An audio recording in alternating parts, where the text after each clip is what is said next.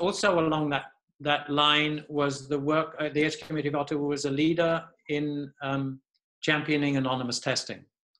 That that was not something that uh, was automatic. Um, of course, we we we supported it, but getting public health to accept this and our chief MOH in Ontario, a guy called Dr. Richard Schabas, was opposed to it. Uh, he liked to track things, and he believed that identifiers were really important.